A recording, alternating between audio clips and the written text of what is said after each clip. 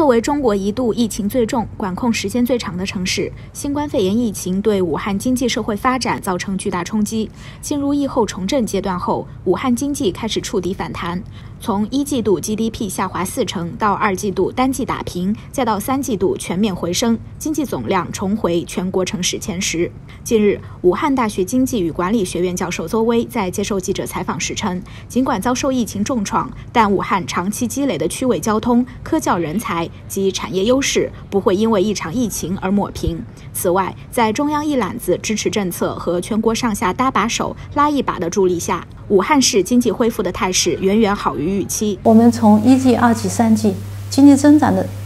这个降幅是逐次不断在收窄的，这个降幅的收窄也有它内在的规律和过程。所以，我觉得武汉市目前的这个经济恢复的态势非常之好，应该是好于预期，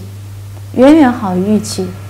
十二月六日，全国保险创新发展大会在武汉召开。此前，二零二零世界区块链大会武汉、二零二零武汉数字贸易大会、第二十九届中国世博会、中国首届五 G 加工业互联网大会、二零二零年华侨华人创业发展洽谈会、第二十一届中国国际机电产品博览会、第二届世界大健康博览会，疫后重振以来，武汉的大事盛事接踵不断，人气不断高涨。据武汉市商务局统计数据显显示，截至十月底，该市举办展会节式活动二百五十六场。尽管总量低于去年，但八月至十月，全市举办规模以上展会已超过二零一九年同期水平。这个也是中央对湖北疫后经济重振一揽子政策的一个组成部分，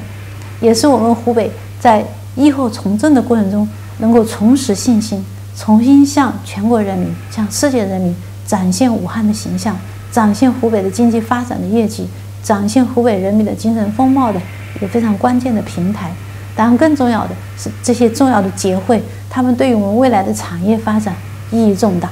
面向未来，武汉的思路很清晰，将实体经济作为立身强势之本，实施战略性新兴产业倍增计划，集中于发展数字经济、头部经济、枢纽经济、信创经济，全力打造万亿级产业集群，构建以战略性新兴产业为引领、先进制造业为主体、现代服务业为支撑的现代产业体系。